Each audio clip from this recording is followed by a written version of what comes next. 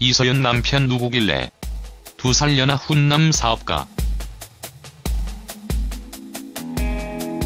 배우 이서연이 남편에 대한 궁금증이 높아지고 있다.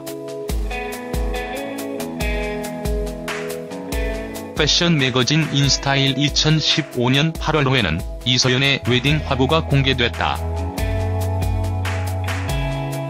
이 화보에는 이서연 남편의 모습도 담겨 있어 당시 많은 화제가 됐다. 공개된 화보에 따르면 이서연 남편은 한눈에 보기에는 훈훈한 모습이었다.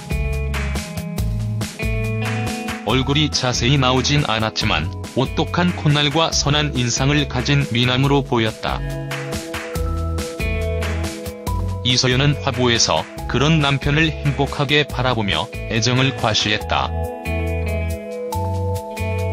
이서연은 화보 촬영과 함께 진행된 인터뷰에서 평소에 소개팅을 잘 안 하는 편인데 친여동생이 나와 딱 어울리는 괜찮은 남자가 있다고 권해서 믿고 나가게 됐다.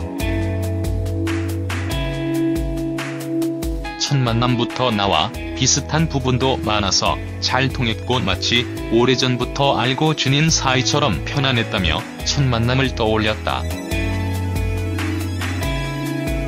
이어 짧은 연애에도 불구 결혼을 결심하게 된 이유에 대해 주변에서도 굉장히 신기해 한다며 연애를 오래 해 상대를 다 알았다고 생각해도 순간순간 새로운 모습을 발견할 때가 있지 않냐.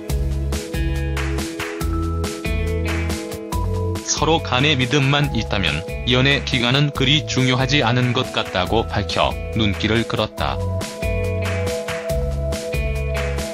한편 이서연의 남편은 이서연보다 두 살 어린 벤처 사업가인 것으로 알려졌다.